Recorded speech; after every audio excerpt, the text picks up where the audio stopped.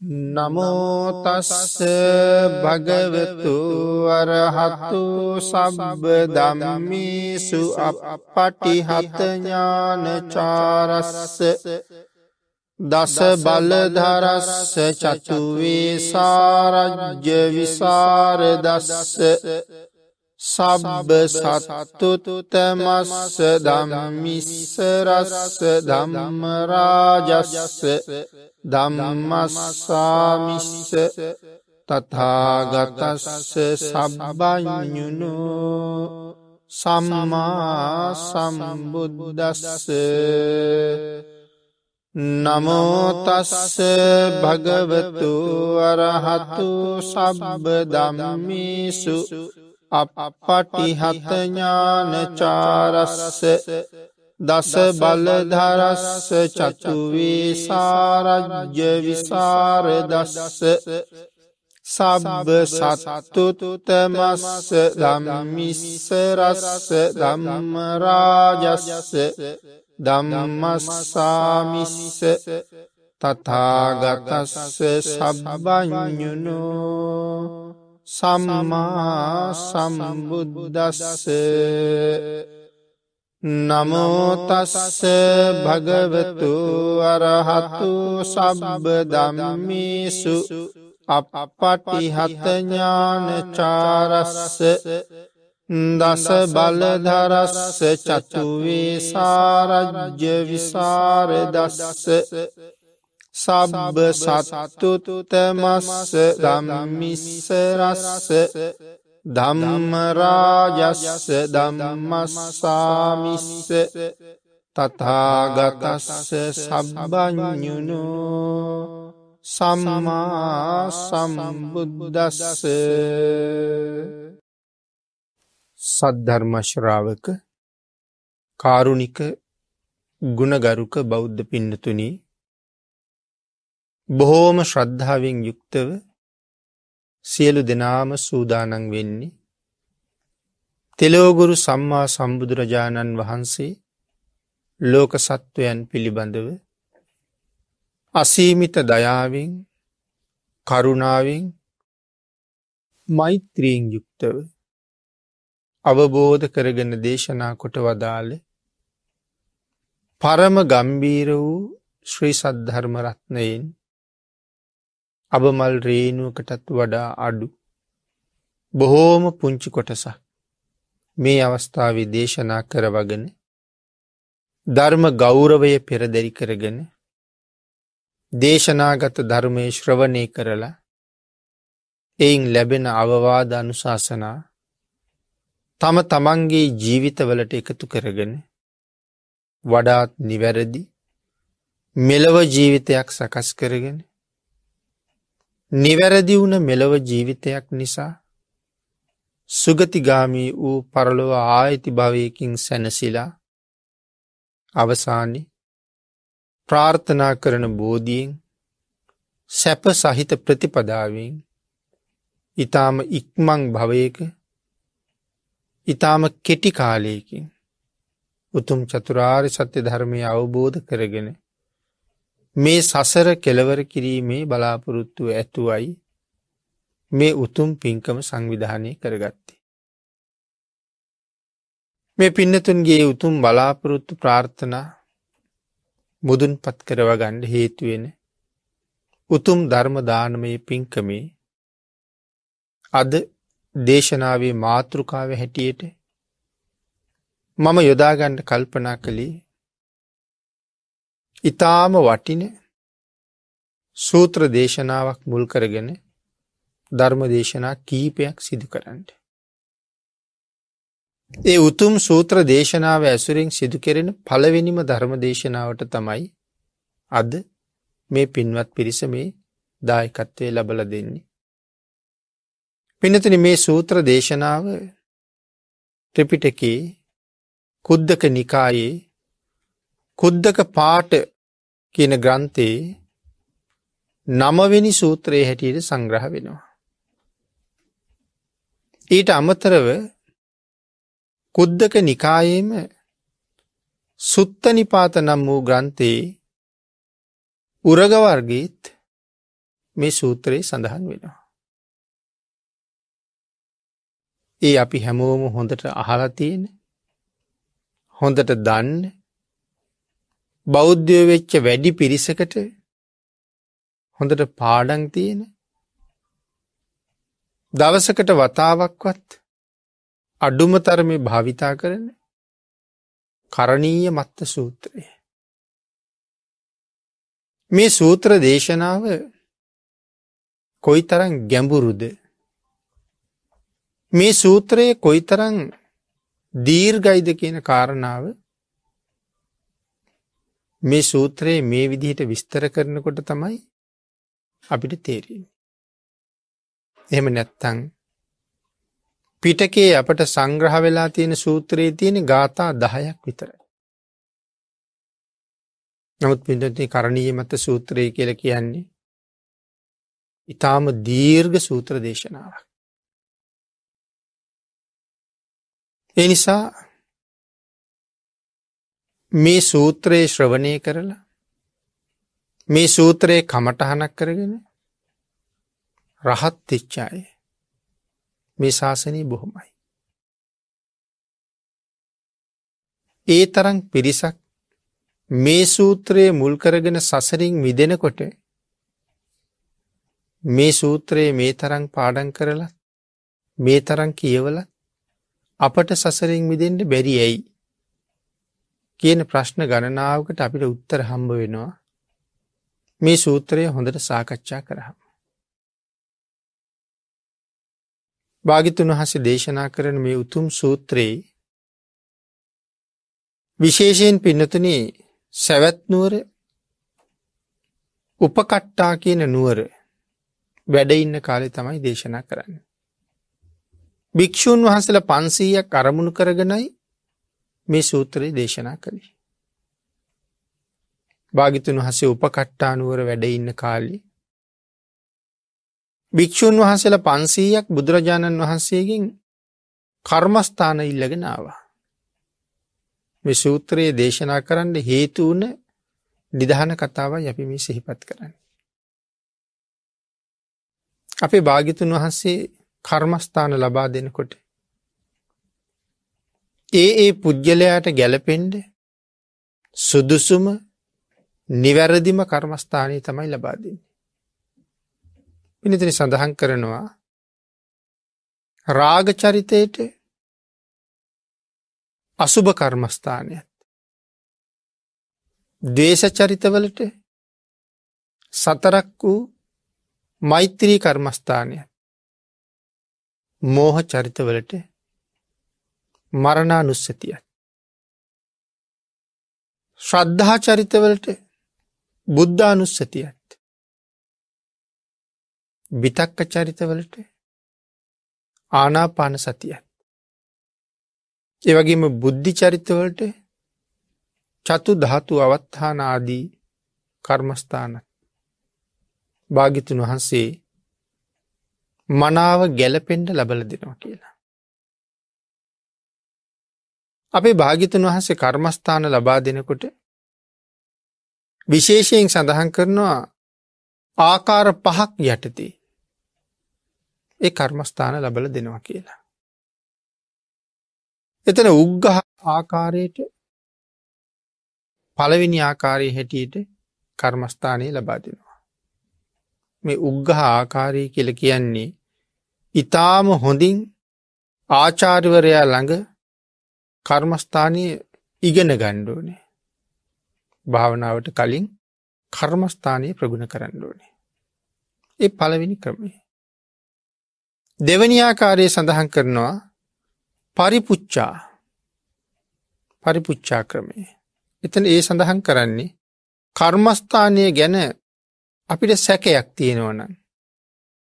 මේ කාරණාව කොහොමද මේ කාරණාව කොහොමද මෙහෙම වෙන්නේ කොහොමද කියලා විවිධ සැක ඇතිවෙන්න පුළුවන්. ආං එහෙම සැකයක් තියෙනවනං ඒ සැකය අහලා දුරුකරගණ්ඩ මෝනේ. ඊළඟට සඳහන් කරනවා කර්මස්ථානය හොඳින් තමන්ගේ මනසට නගා ගණ්ඩෝන කියලා. එකන කර්මස්ථානය හොඳයට පාඩන් තියෙන් ඕනේ. කර්මස්ථානය කටපාඩන් කරලා තියෙන් ඕනේ. සිතූ ගමන් මෙනෙහිවෙන්ඩ ඒ කර්මස්ථානය ගැන අවබෝධී තියෙන්ට ඕනේ. හතරවෙනි කාරණා විදි සඳහන් කරනවා මේ කර්මස්ථානයේ අර්පනා ළඟට දියුණු කරගණ්ඩ ඕන කියලා. අර්පනා මට්ටමට දියුණු කරනවා කියල කියන්නේ. ධ්‍යානයට ආසන්න වෙනක. ධ්‍යානයේ ළඟ හැසිරෙන මට්ටමට එනකං කර්මස්ථානී දියුණු කරගණ්ඩුව. අවසාන කාරණාව සඳහන් කරනවා ඉන් පස්සේ ප්‍රඥ්ඥාවෙන් ප්‍රත්‍යවේක්ෂා කරමින් කර්මස්ථානය මනාව විමසන්ඩුව. මෙහෙම ආකාර පහත් සඳහන් කරලා තියෙනවා. අප මේ බොහොම කෙටියෙන් තමයි කරුණු පිළිබඳ මේ සිහිපත් කරන්න යෙදනේ. ඊළඟට භාගිතුන් වහසේ මේ සූත්‍රයේ දේශනා කළේ අපි සඳහන් කලා පන්සීයක් වූ භික්‍ෂූන් වහන්සේලාට. බුදුරජාණන් වහන්සේගෙන් කර්මස්ථානය ඉගෙනගෙන මේ භික්‍ෂූන් වහන්සේලා බුදුරජාණන් වහන්සේගෙන් සමු අරගෙන වස්කාලි විවේක ස්ථානයක වස් සමාදන් වෙලා මේ භාවනා කර්මස්ථානයේ දියුණු කරන්න පිටත් වෙලා වැඩිය. උන්වහසෙල්ල බොහෝ දුර වැඩම කරලා පරුවත ආසන්න ප්‍රදේශයක් පරුවත ආශ්‍රය කරගෙන තියෙන ප්‍රදේශයක් සඳහන් කරනවා ඉතාම හොඳට බිම වැහෙන්න හෙවන වැටිල තියෙන විශාල රුක්ෂ වැවිල තිබුණ ප්‍රදේශයක්. මුතු ඇට වගේ වැලි කැට තියෙන ඉතාම පිරිසිදු බිම. මේ පරුවත ආශ්‍රය කරගත්ත මේ භූමිය ළඟ ගොදුරුගං දෙකක් තියෙනවා කියල සඳහන් කරනවා. සාමාන්‍ය එක ගමක ගෙවල් දාහක් විතර තිබිලතිය. ඒවාගේ ගම්මාන දෙකක් තියෙනවා. භික්‍ෂූන් වහසල නතර වුණ තැන ඉතාම විවේකයි. ඒ නිසා උන්වහසල තීරණය කළා අපට නවාතැන් ගණ්ඩ තියෙන භූමිය ඉතා විශේෂයි ඉතාම විවේකයි. භාවනාවට හරි පහසුයි මොකද ප්‍රත්‍ය පහසුකං හොයාගණ්ඩ ළඟ ගම්මාන දෙකක් තියෙනවා. බොහෝ දුර වඩින් අවශ්‍ය නෑ. එහින්ද අපි මෙතන නතරවෙමු. එදා රාත්‍රිය උන්වහන්සේලා කුටි සෙනසුන් නැතුවම ඒ රුක්ෂමූලවල වැඩහිටිය. පහෝ දවුදේ ගමට පිණ්ඩ පාති වෙඩිය. භික්‍ෂූන් වහන්සේල පන්සීය අපූරුවට වඩිනකොට ඒ ගම් වැසියන්ට ඇතිවුණේ පුදුම සතුටක්. එනිසා ආරාධනා කළා ස්වාමීණී මේ වස්කාලයේ ඔබවහන්සේල කොහේවත් වඩින් දෙපා. අපි සිව්පසයෙන් උපස්ථාන කරනවා.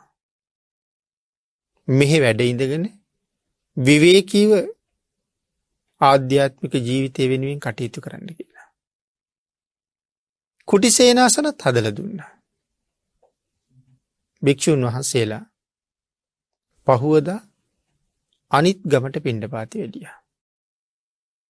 ඒ ඇත් හරි සතුටුයි.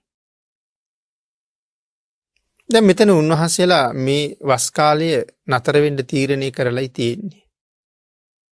පිනතන මේ ප්‍රදේශයේ මේ ගස් ඇසුරු කරගෙන විශාල වශයෙන් රුක්ෂ දේවතාව වැඩඉන්නවා.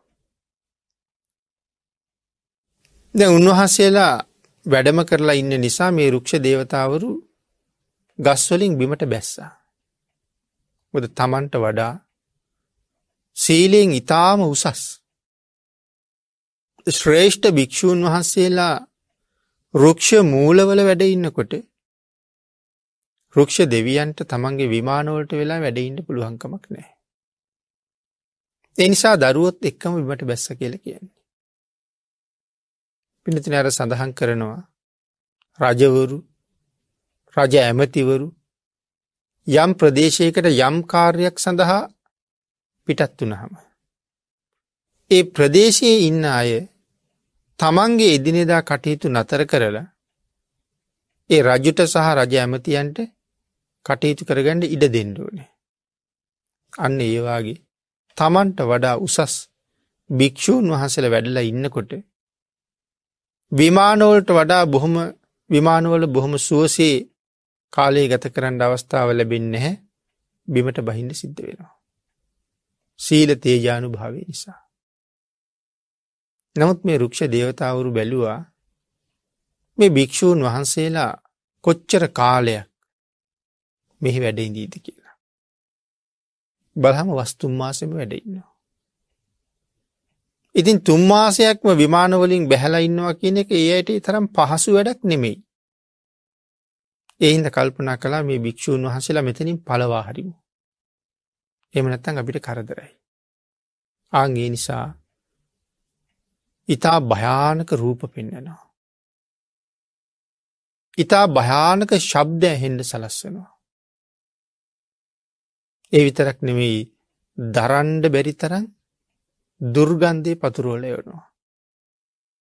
ඒ දුර්ගන්ධය හිස්මොල දක්වාම ගමන් කරනවා කියල සඳහන් කරනවා. එනිසා බොහොම තද හිසේ අමාරු හැදෙනවා. නමුත් කවුරුවත් කාටවත් කියන්නේ ඒක මට විතරක් වෙන්ඩ ඇති කියලා හිතල කියන්න අකමැත්තක් දක්වනවා. එක දවසක් භික්‍ෂූන් වහන්සේල සියලු දෙනාම මේ පන්සිය දෙනාගේ නායකය සංග ස්ථවිරයන් වහන්සේ තමන් වහන්සේ ළඟට කැඳෙව්වා. කැඳවල ඇහුවා මෙහාට වඩිනකොට ඔබහන්සේල සියලු දෙනාම ඉතාම ප්‍රිය මනාපයි. හොඳට පෘෂ්ටිමත්ව වැඩුණ ශරීර තිබුණ. නමුත් දැන් හැම කෙනෙක්ම බොහොම කෙසඟ වෙලා. බොහොම අපහසුවෙන් කරදරයෙන් ජීවත්වෙන බවක් තමයි හැමෝගෙම මූුණුවලින් පේන්නේ. ඒකට හේතුවමකක්ද කියලෙහවා. ඉටස පන්සිය දෙනාම තම තමන්ට දැන්නදී කීප. බලහම සියලු දෙනාටම එක මාකාරයි.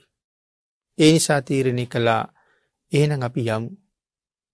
ආයෙත් ගිහිල්ල බුදුරජාණන් වහන්සේ මුණ ගැහෙමු කියලා. එහෙන් පිටත් වෙලා ආයෙත් භාගිතුන් වහස මුණ ගැහිට වැඩිය. වැඩල බුදුරජාණන් වහන්සට වන්දනා කරලා මේ කාරණාව මතක් කළා. භාගිතුන් වහස දේශනා කළා මහනිනි මම ඔබලාට කවදාවත් අනුශාසනා කරලා නෑ වස්කාලය තුළ චාරිකාය වඩින්න කියලා. එනම් ඇයි වස්කාලය තුළ මේ චාරිකායි වඩින්නේ. එහෙම ඇහු හම තමයි කාරණාව මතක් කළේ ස්වාමීනී අපි වස් සමාදන් වෙලා ධ්‍යාන භාවන වඩන ප්‍රදේශයේ අපි තෝරගත්ත ප්‍රදේශයේ මේවාගේ මහකරදරයක් තියෙනවා. ඒක නිසාමයි භාගිතුන් වහසමුණ ගැහෙන්ඩාවේ. අපේ බුදුරජාණන් වහන්සේ තමන් වහන්සේගේ ඥානයේ මෙහෙවල මුළු ජම්බු දීපයම බැලුවා. මේ භික්‍ෂූන් වහන්සේලාට භාවනාවට තවත් සුදුසු තැනත් මේ ජම්බුද්ධීපය තියෙනවාද කියලා. පිනතින මුළු ජම්බුද්ධීපයේ මෙහෙම තැනක් නෑ. මේ පන්සිය නමට සුදුසුම තැන තමයි මේ නතර වෙලා හිටපු තැන. එඳ සඳහන් කලා මහනින ඔය හිටපු තැන හැර වෙනත් තැනක්ටන් ඔබලට නෑ. වෙනත් කොතන හිටියත් ඒක ඔබලාගේ අර්හත්තය සඳහා හේතුවෙන්නෙත් නෑ. යායුත්තේ එතෙන්ටම තමයි. කියන කාරණාව භික්‍ෂූන් වහන්සේලට දැනුවත් කරලා. උන්වහසලට දැන් ආරක්ෂාවක් හදල දෙන්නෙපෙයි. උන්වහන්සේලගේ කමටහන හැටියටත් උන්වහන්සේලගේ ආරක්ෂාව හැටියට මෙන්න මේ කරණීය මත්ත සූත්‍රයේ උන්වහන්සේලට ඉගැන්වා. එතනින් තමයි මේ කරණීය මත්ත සූත්‍රයේ ත්‍රිපිටකයට එකතුවෙන්නේ. කරණීය මත්ත සූත්‍රයේ උපත සිද්ධ වෙන්නේ මෙන්න මේ විදිහට. උන්වහන්සේලා කරණීය මත සූත්‍රය හොඳට ඉගෙන ගත්තා. බුදුරජාණන් වහන්සේ වැඳල. අවසර ඉල්ලගෙන නැවතත් තමන් වැඩහිටිය ප්‍රදේශයටම වැඩිය. වැඩල මේ සූත්‍රයේ සජ්ගහයනා කරනවා. මේක නිතර සජ්්‍යහයනා කරන්න කියල දේශනා කළා. එහෙම සජ්්‍යහයනා කරනකොට අර දෙවිවරු දැනගත්තා මේ භික්‍ෂූන් වහන්සේලගෙන් කවදාවත් අපිට හිරිහැරයක් වෙන්නේ. අපිට කරදරයක් වෙන්නේ නෑ. මුන්වහන්සේලා මෙහෙ වැඩඉන්න එක අපිට මහත් ලාභයක් මයි වෙන්. බාණ්ඩක මේ සූත්‍රය දේශනා කරනවා ඇහෙනකොට තමයි එම හිතන්නේ.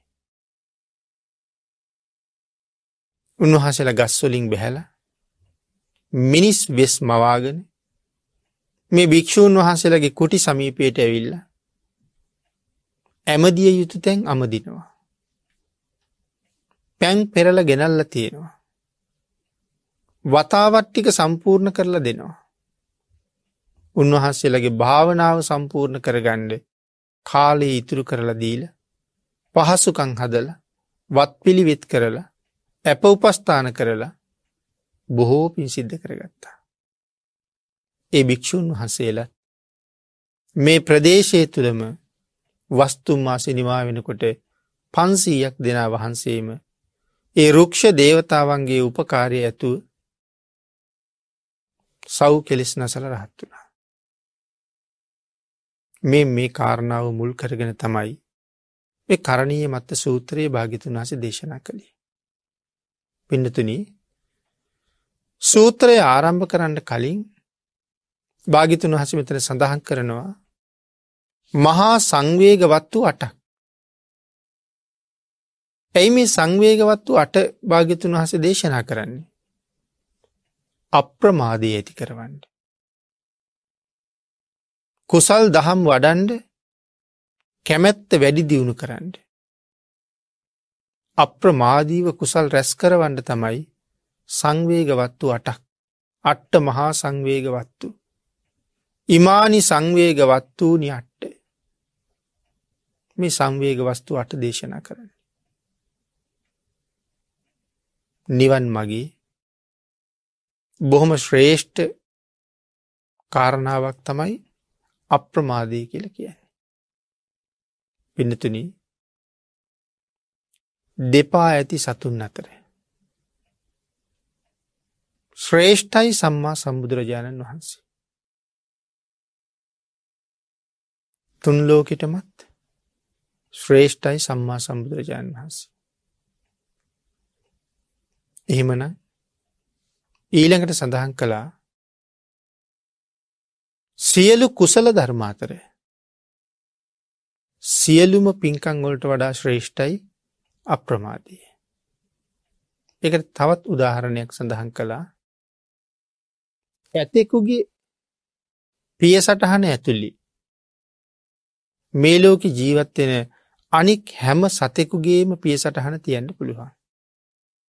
විශාලතම පාද ඇති සත්වයා අතර ඇතා තමයි ප්‍රධාන. ඒ ඇතාගේ අඩිය ඇතුළි අනික් හැම සතකුගේම අඩිය තියන්න පුළුවන්. එව ඊට වඩා කුඩයි.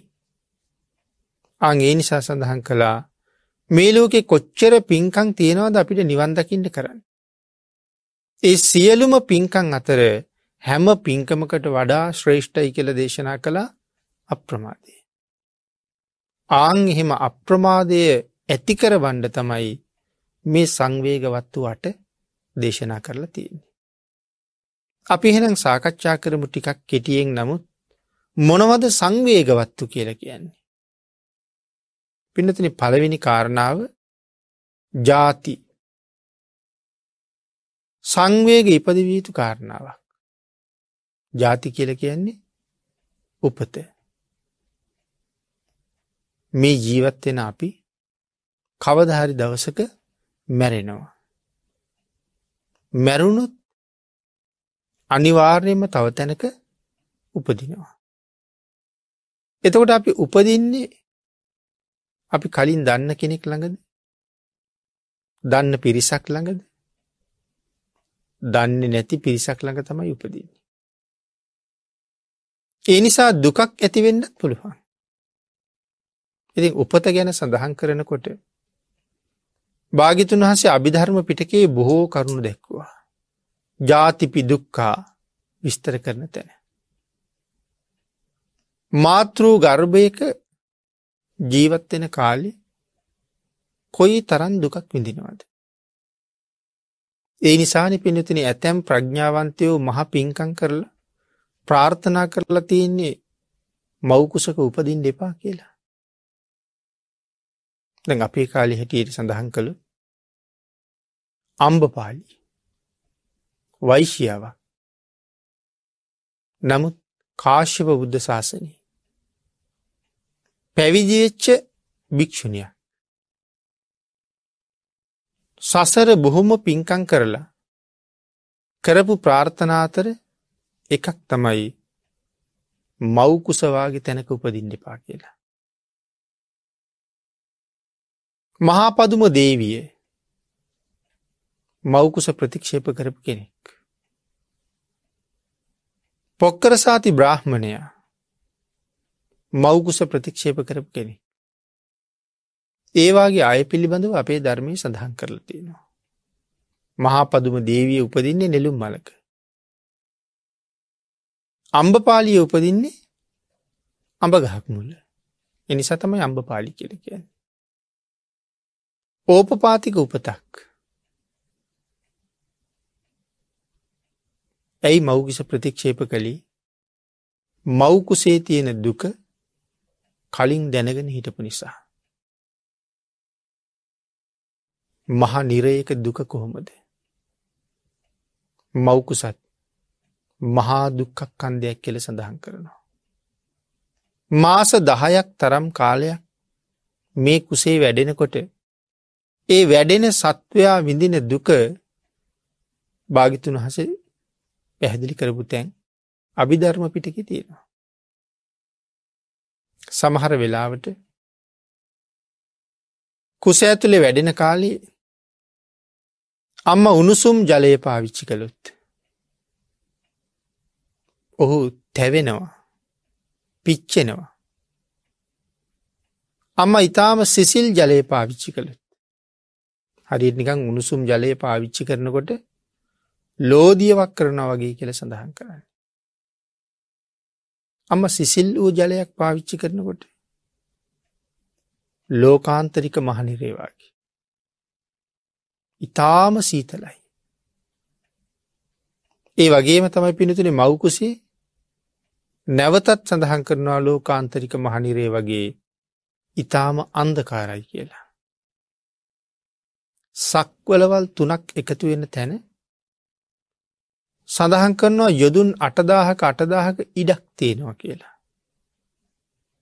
සාමාන්‍ය රවුන් හැඩේ වස්තු තුනක් අපි එකට කරලා අල්ලගත්තො මැද්ද ඉඩක් ඉතුරෙන බව අපි දන්නවා. ආගේ නිසා මේ සක්වලවල් තුනක් එකතුවෙන තැන යොදුන් අටදාහක් අටදාහක් තරන් හිස් අවකාශයක් තියෙනවා. පතුලක් නෑ. පෘතුවයේ ගැඹුර ධර්මය හැටියට සඳහන් කරනකොට පැහැදිලි කළා යොදුන් දෙලක්ෂ හතලිස් දාහක් මේ ගණකඩ බොල් පොළොව යටට ගැඹුරුයි කියලා. ති යොදුන් දෙලක් සතලිස් දාහක් කියල කිය හම සැතපුම්නම් කොච්චර ප්‍රමාණයක් වීද. ඉතිං ඒවාගේ තුනක් එකතුවෙච්ච තැන මේ හැදෙන අවකාශය පතුලක් නෑනි පිඩතුනි. උඩට බැලූහම හිස් අවකාශයමයි. ඒ නිසා වහලෙකුත් නෑ පතුලකුත් නෑ. කවදාවත් හිරු එලිය වැටෙන්න්නෙත් නෑ හඳ එලිය වැටෙන්න්නෙත් නෑ. ඒ නිසා ඉතාමාන්දකාරයි. හිරුවෙලියත් නොවැටෙන නිසා දැඩි සීතලයි. පතුලි තියෙනවා කියන අයිස් පතුලක් නෑ එනිසා අයිස් තමයි තියෙන්නේ. නමුත් නිරිසත්තු ඉන්නවා. ඒ අය අර අයිස් උඩ වැටිලා පිච්චිලා මැරෙන. අයිස්වලට පිච්චෙනවා. නැවත උපදිනවා නැවත ඒ දුක එහෙමම විඳිනවා. ඉතින් ඒ ලෝකාන්තරික මහනිරය කොයි තරං අඳුරුද කොයි තරං සීතලද මවකුසත් එහෙම කියල කියනවා. මවකුසටත් එලිය වැටෙන්ට තැනක් නෑන. අභ්‍යන්තරය ගැන අපි හිතන්නෙත් නෑනෙ. නමුත් මේ ඇඟ ඇතුළ ගැන හිතුවොත් තනිකරම ඇතුළ අන්දකාරයි. එලිය වැටෙන දිහක් නෑහෙන මවකුසත් එහෙම්මම තමයි. එනම් දහමාසයකට ආසන්න කාලයක් මේ මහා ගණ අන්දකාරණ ජීවත්තෙන්ට වෙන්න. උණුසුමේදී තැවෙනවා සීතලේදි තවා පසුතාවයට පත්වෙනවා අම්ම ඉඳගන්නකොට අම්ම නැගිටිනකොට අම්ම ඇවිදිනකොට අම්ම නිදාගන්නකොට මේ ඇතුළේ ඉන්න කෙනා මොන තරම් අපහසුතාවන්ට පත්වෙනවාද. ඒ විතරක් නෙමේනි ගූත නිරේ වගේ කියල සඳහන් කළා. මුත්‍ර සහ අසූචි දෙකම එකතු වෙලා පැහෙන නිරයක් ගූත නිරේ කියල කියන්නේ.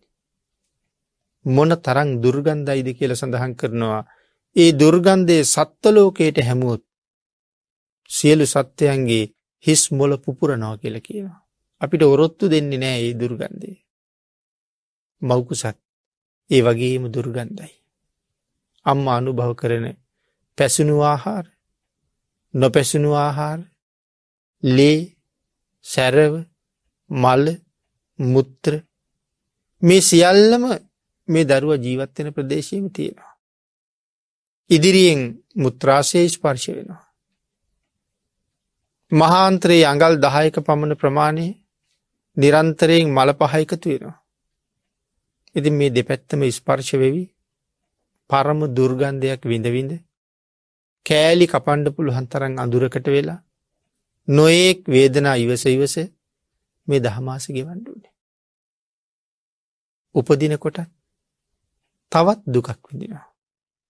කර්මජවාතයෙන් මේ දරුව හරවන්ඩෝන උපදින්ට. එතකොට මාස ගානක් එකම විදිහට ඉඳල සම්පූර්ණයෙන් හාත් පස අනි පැත්තර හරවනකොට සඳහන් කරන මහ විශාල කන්දක් උඩින් පෙරලුවොත් කෙනෙක් මොන තරං වේදනාවක් දැනි දැනී පල්ල හැට රෝල්ලෙනවාද. ඒවාගේ වේදනාවක් දැනෙනවා කියලා. ඊළඟට උපත් මාර්ගයේදිගේ එලියට එනකොට සංඝාත නිරයේ පරුවත දෙකට හිරවුණ නිරිසත්තුවාගේ කෙලි කියනවා. සංඝාත කියන මහනිරේ පරුවත පෙරලෙනවා පරුවත තියෙන්නේ. හෙන හඬ පුපුරනවා වගේ යොදුන් ගණන් දිග මහා පරුවත යොදුන් ගණන් උසයි යොදුන් ගණන් දිගයි. නිරිසත්වයෝ ඉන දක්වා ප්‍රමාණය නිරේ ගිලිල ඉන්නේ. ඉනෙන් උඩ කෑල්ල විතරයි තියෙන්නේ. යට කෑල්ලි හොළවන්න පුළුවන්කමක් නෑ. හිර වෙලා වගේ. ටික වෙලාවක් යනකොට මහා හඬක් ඇහෙන. බලහම යොදුන් ගානක් උස යොදුන් ගානක් දිග තනිකරම ගින්දරෙන් රත්තෙච්ච මහා පරුවතයක් තමන් ඉන්න දිහාට පෙරලි පෙරලියනවා. මොනෝ කරන්නද නැගිටින්ට බෑ දුවන්ඩ බෑ මොහොතින් හරිට නිකං රොටී තැලුව වගේ තමන්ගේ ඇඟුඩින් පරුවත යනවා. තමන් පහු කරලා ගියාට පස්සේ කර්මය නිසා ආයෙත් නැගිටිනවා. වේදනාව අපි මනුස්සලෝකි ඔය ගල් රෝලෙකට වගේ තැලුණවාගෙන මේ ඊට වඩා ඉතාම දරුණු වේදනාව. ඊට පස්සේ බලහම එකක් නැගෙන හිරින් ඇවිල්ල ගිය අනික බටහිරිගෙනවා. තව එකක් උතුරෙන් එනවා තව එකක් දකුණින් එනවා. මේ හත්තර පැත්තටම තැලෙනවා. සමහර වෙලාවට දෙකක් දෙපැත්තෙන් ඇවිල් එකට හේත්තුවෙන. එතොට අර මැද්ද හිරවෙච්චාය කොයි තරං වේදනාවක් විඳිනවද. ආන්ගේ හිරවෙච්ච සත්වයෙක් විඳින යම් වේදනාවක් වෙයිද මවකුසෙන් එලියට එනකොට ඒ තරං වේදනාවක් විඳිනවා කියල කියනවා. ඉති මේ ජාතිපි දුක්කා මේ කාරණාව තව බෝ කරුණු කාරණා සහිතව පැහැදිලි කරන්න පුළුවන් ඊට පස්සේ ඉපදුනාට පස්සෙත් විඳින්ට තවත් නොඒක් දුක්රාශයක් තියෙනවා. ඉපදිච්ච ඉතාම බිලිඳු දරුවට ඉදිකටු වගේ නොයි කටුවලින් විදිනවා බෙහෙත් විදිනවා. තව සමහරයට ඉපදිච්ච ගමම්ම සැත්කම් කරන්න වෙනවා. මේවාගේ නොඒක් වදවේදනා විදිනවා. එහෙම එහෙම ඇවිල්ල යම් ප්‍රමාණයකට ලොකු මහත්තෙච්චාය තමයි ඔබ මම නමුත් මේ ජීවිතය තුළ අදත් අපි නොයෙක් දේවල් එක්ක ගැටමින් හැලහැප්පෙමින් ලෙඩදුක් කරදර කම්කටුළු මැද්දෙ හතුරු උපද්‍රව මැද්දෙ අපි මොන තරම් දුකක් විඳිනවද. ඉතින් ඉපදිච්ච නිසා මේ වගේ මහා දුක්කන්දරාවකට මුණ දෙන්න සිද්ධ වෙලා තියෙනවා. අනාගතයේදී අපිට කොයිවාගේ දුක්වලට මුණ දෙන්න සිද්ධ වෙයිද. ආං ඒ ගැන හිතලා සංවේග උපදවන්න ඕනේ. සමහර තැනක අහනවා පිහියෙන් ඇනල මරලා. තව තැනක ඇහෙනවා වෙඩි තියල මරලා. තව තැනක ඇහෙනවා කෑලියෝල්ට කපල මරලා. අහනකොටත් ඇඟ හිරිවැටෙනවා බයි හිතෙනවා. නමුත් හෙට දවසේ ඒ තත්ත්වය මට උදාවෙන්ඩ පුළුවන්.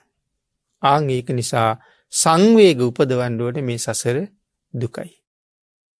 වහ වහා සසරින් එතර වෙන මගම හදාගත යුතුයි.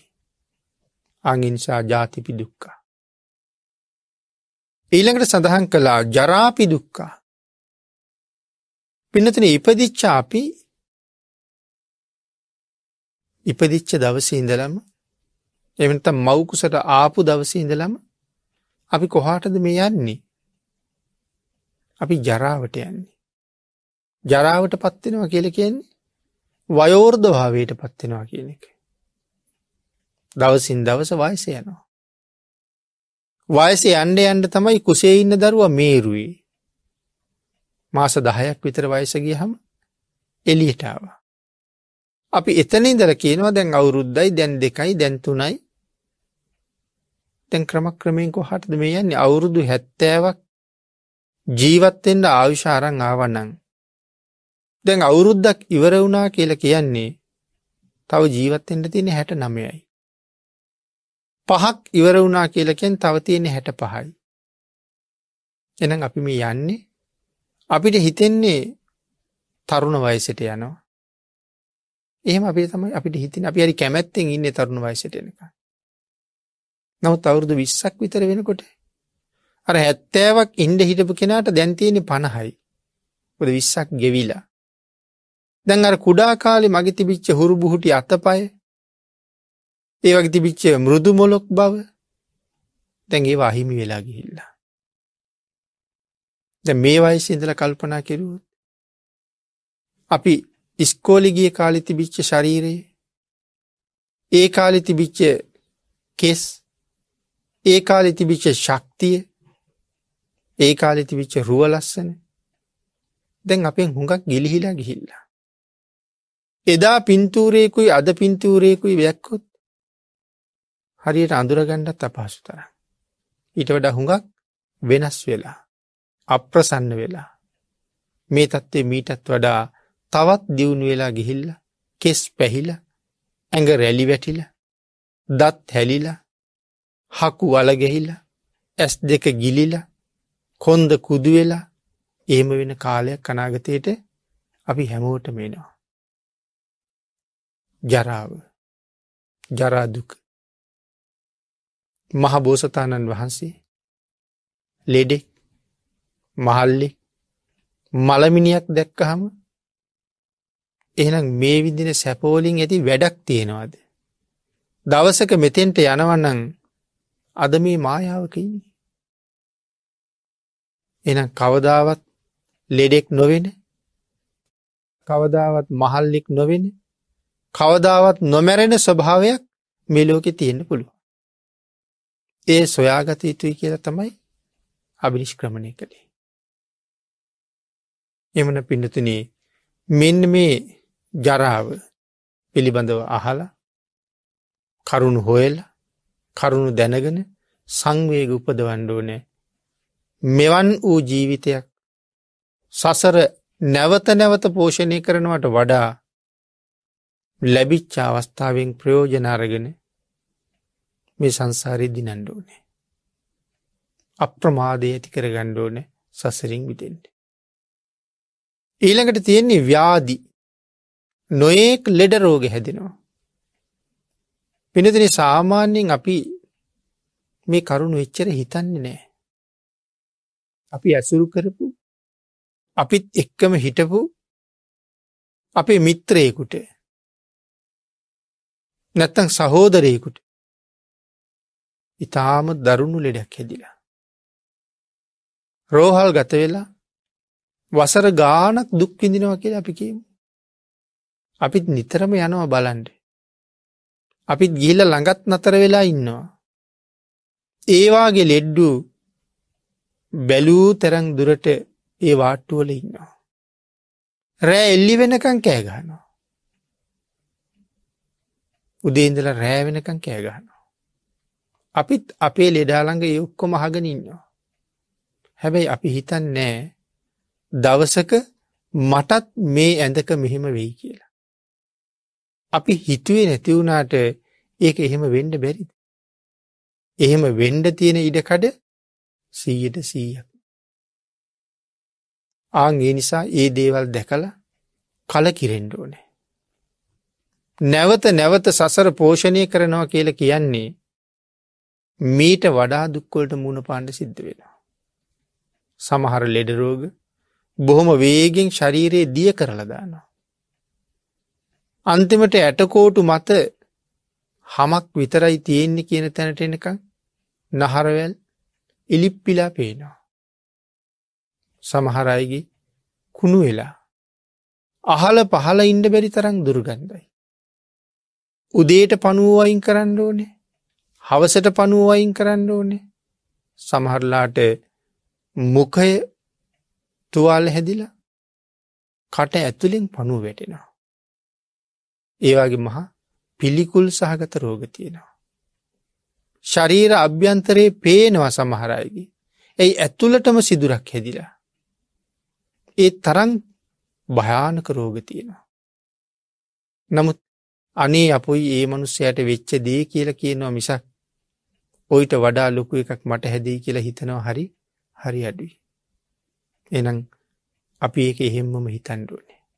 අපි මළගෙදරක ගියත් මේ මනුසය මැරුණනි කියලා හිතනවා මිසක් මමත් ඔහොම මැරෙනවනි කියලා කල්පනා කරන අය හරි අඩුයි. නමුත් හරියට මේ කාරණාව හිතලා සංවේග උපදවන්ඩෝනි කෙළ භාගිතුන් හස දේශනා කරන්න. කොයි තාක් දරුණු රෝග තියෙනවාද ඒ තාක් දේවලට මං ගොදුරු වෙන්ඩ පුළුවන්. ඊළඟට මරණ මරණීය දුක ධර්මය සඳහන් කරපු හැටියට හරිම වේදනාකාරී ස්වභාවයක් තියෙන්නේ. මරණීය වේදනාව. මෙතෙක් ජීවිතය අපි විඳලම නැති වේදනාවක්. අපි කවුරුවත් මරණීය වේදනාව විඳල නෑන්නේ. ඒක විඳින්ට වෙන්නේ මැරෙන අවස්ථාවමයි. එහින්ද ඒ අවස්ථාවේ මූුණ දෙෙන්ඩ වෙන්නේ අලුත්ම දුකකට. නමුත් පින්නතුනී ඒක කොච්චර දරුණුද කියනෙකොයි අනාත පින්ඩික සිටිතුමා ධනංජානි බ්‍රාහ්මණය ඒවාගේ අය මරණාසන්න වෙලාවි කියල තියෙනවා.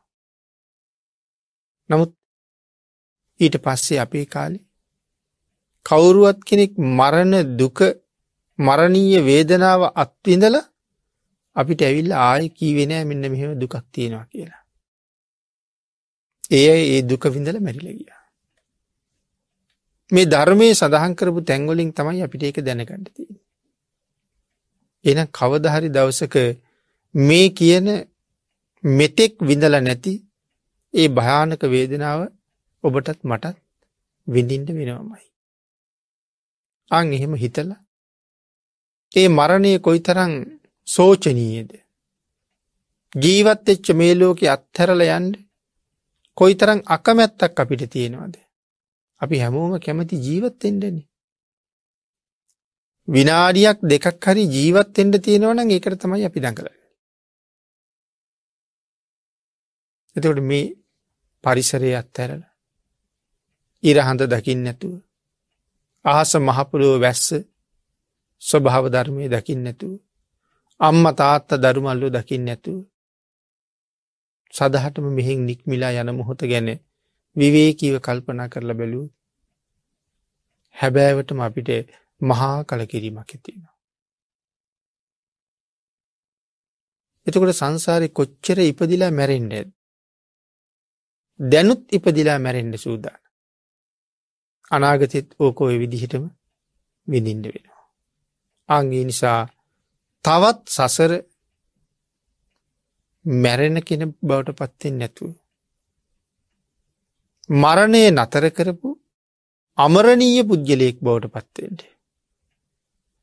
අපිට ලැබිල තියෙන මේ අවස්ථාව ආය කොයි කාලි හම්බේද දන්නේ.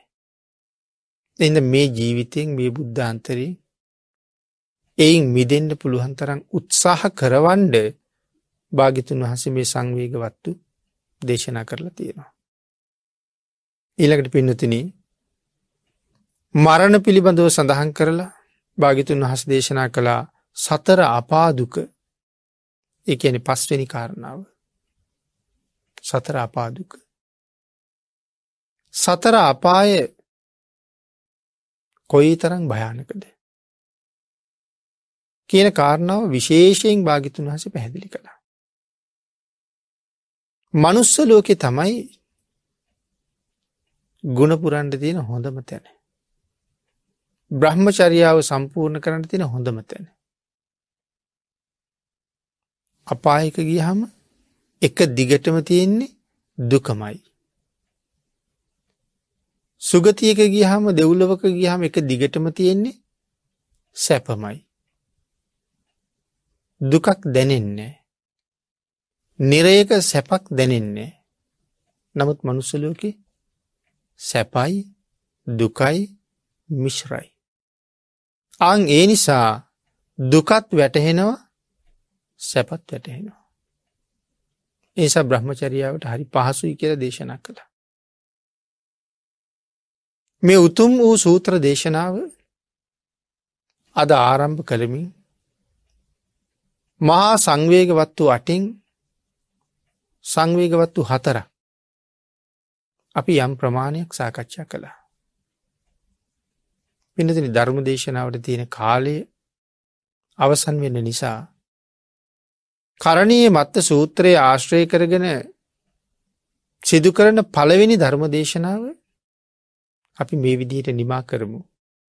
නමුත් මේ උතුම් සූත්‍ර දේශනාව අපි ජීවිතයට කොයි තරං වටිනවද අපි නොහිතපු කරුණු කොච්චර මේ සූත්‍රය තුළ තියෙනවද කියන කාරණාව දේශනාව පුරාවටම අපි සාකච්ඡා කරන්න බලාපොරොත්තු වෙනවා. ඔබටත් ඒ දේශනා හැම එකක්ම ශ්‍රවණය කිරීමේ හැකියාවත් ඉදිරියට ලැබෙනවා. එනිසාද සතුට වෙන්න පුළුවන් ත්‍රිපිටකේ දෙපොලක සඳහන් වන මේ සූත්‍රයේ මොනතරං වටින සූත්‍රයක් නිසා එහෙම සඳහන් කරන්න ඇද්ද. එවන් උතුම් සූත්‍ර දේශනාවක් ලෝක සත්වයාගේ හිතසුව පිණිස දානය කරවන්ඩ එහි පළවෙනි දායකත්වය දරන්ඩ ලැබීම තමන්ට මහභාගිය. අද ධර්ම දේශනාවේ දායකත්වය දරන මෙ සැදැහැවත් පින්වත් පිරිස බොහෝම ශ්‍රද්ධාවෙන් ඉතාම ගෞරවයෙන් මේ ධර්ම දේශනාව සඳහා සූදානම. ධර්මයට ගරු කරමින් මහා සංගරත්නයට ගරු කරමින් දේශනාව සඳහා වැඩමෝවන කාරණාව පවා ඒ ධර්ම ගරුත්තයෙන් ඉතා විශේෂ විදිහට සම්පූර්ණ කරගත්ත. ධර්මය තුළ ජීවිතය බොහොම පොහොසත් කරගණ්ඩ උත්සාහ කරන පිරිසක් හැටියට කරුණුකාරණා බොහොමයකින් හිතන්ඩ අවස්ථාව උදා වුණා. අද ධර්ම දේශනාව සම්බන්ධවත් දායකත්වය දරණ කෙනෙකුගේ නමක් ගමක්වත් වෙනත් ආශිර්වාදවත්. තවත් නොෙක් බලාපොරොත්තු සමහරලාට උංගාක් වෙලාවට අපිට හම්බෙනවා ධර්ම දානය කියල කියන්නේ මේ ලෝක තින උතුම්ම දානය. මේ ලෝකෙ තියෙන හැම දානයකටම වඩා ශ්‍රේෂ්ඨතම දානය. හැම දානයක්ම අභිභවනය කළ දානී. එවන් පින්කං කරලා සමහර කෙනෙක් ප්‍රාර්ථනා කරලා තියෙන්නේ අධ්‍යාපනය දියුණු කරගන්නට දරුවන්ගේ. මේ මහා පින්කම කරලා තියෙන්නේ දරුවෙකුගේ අධ්‍යාපනය දියුණු කරගන්නට හරිට නිකං මහා පින්කමක් කරලා එකින් වැලි කැටයක් වගේ දෙයක්ත්තවා බලාපොරොත්තුවයි සමහර කෙනෙක් ව්‍යාපාර කටයුතු දියුණු කරගන්නට.